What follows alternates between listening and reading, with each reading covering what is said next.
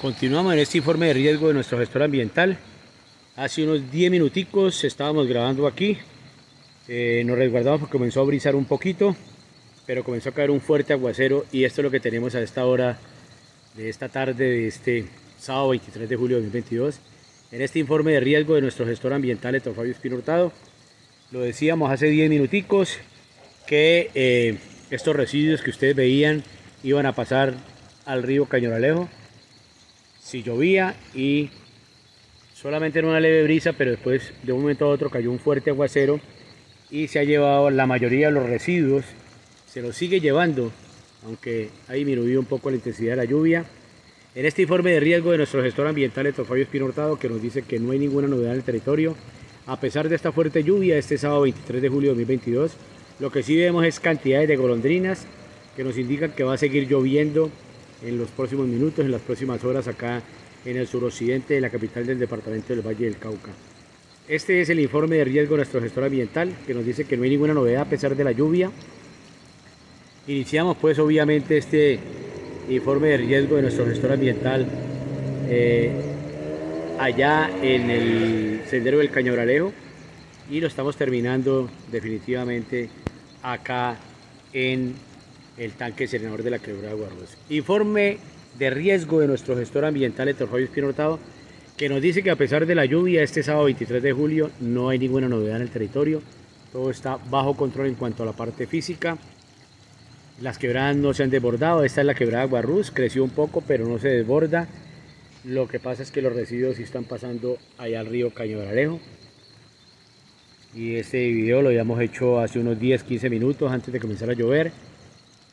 Y aquí lo vemos, en este informe de riesgo de nuestro gestor ambiental, Héctor Fabio Espino Hurtado. Veníamos precisamente de allá de, eh, la, del sendero del Cañaralejo de comenzar a hacer el informe de riesgo. Y comenzamos, bien, y comenzamos a grabar también ahorita que empezó la lluvia fuerte.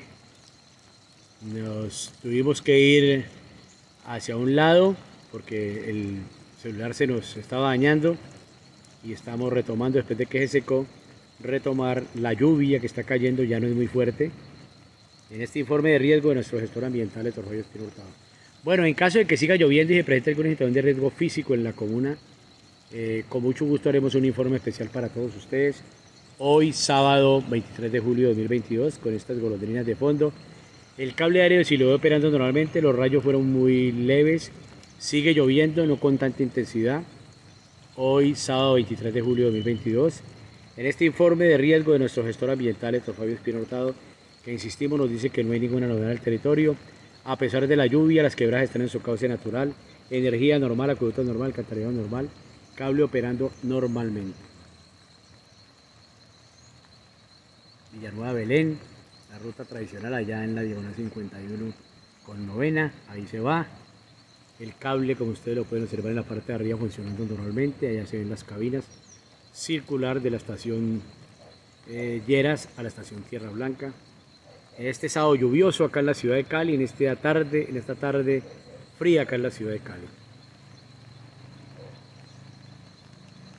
Este es el informe de riesgo de nuestro gestor ambiental Héctor Fabio Espino Hurtado que insistimos, nos dice que no hay ninguna novedad a pesar de la lluvia, no hay deslizamiento, no hay desborde de quebradas, el río Cañonalejo como ustedes lo pueden observar está en su cauce natural, ya lo vamos a mostrar un poquito más allá. Continuamos en este atardecer acá en la ciudad de Cali, perfectamente la variedad de Siloé, a estas horas de la tarde de hoy, sábado 23 de julio de 2022, se cubre Cristo Rey, se cubre la vía Cristo Rey, la vía Yanaconas, si lo de YouTube, si lo de YouTube. En este informe de riesgo de nuestro gestor ambiental de Torroyo Espino Hurtado para hoy, sábado 23 de julio de 2022.